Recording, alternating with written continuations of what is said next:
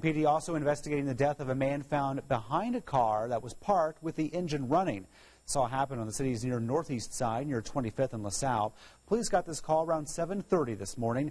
The man suffered some type of injury and died at the scene.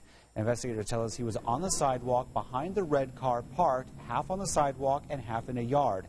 At this point, we don't know how that man and the car could be connected. We're waiting to learn his name as police try to figure out what exactly happened and why.